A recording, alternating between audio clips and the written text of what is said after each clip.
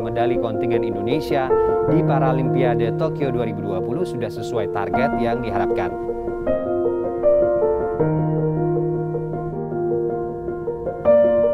Pemirsa pasangan Indonesia Hari Susanto Leani Ratri Oktila berhasil meraih medali emas badminton ganda campuran SL3 SU5 di Paralimpik Tokyo 2020.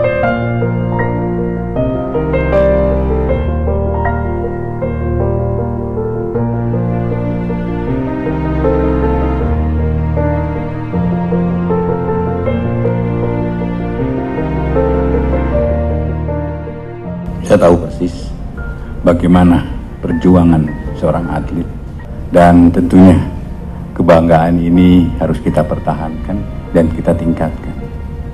Harapan saya adalah kedatangan adik-adik di sini uh, juga dapat memberikan suatu um, supporting gitu sebagai trigger buat teman-teman yang ada di sini bisa berprestasi seperti teman-teman uh, di yang telah dilakukan di Jepang. Dan sekali lagi selamat datang di Kejaksaan Agung. Selamat atas prestasinya. Alhamdulillah target yang dicanangkan tersebut seluruhnya terpenuhi bahkan terlampaui dengan cap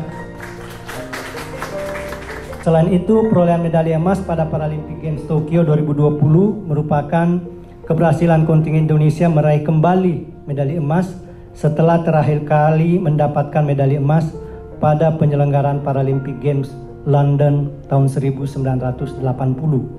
Kita bergerak untuk bangsa dan negara, mengharumkan nama bangsa dan negara. Kemarin pun kami bisa membuat prestasi luar biasa di di Jepang. Kami juga tidak menyangka itu akan terjadi, tapi itu sudah kayak sepertinya sudah kelihatan takdir dan karunia Tuhan yang luar biasa buat kita semua bangsa Indonesia. Dan kami berhasil pun bukan keberhasilan kami, tapi itu keberhasilan kita semua bangsa Indonesia dan berkat semua doa-doa kita, kita bisa diterima jadi mendapat dua medali emas. Saya Leani Ratri Oktila, peraih dua medali emas, satu medali perak Paralimpik Tokyo 2020 cabur para badminton.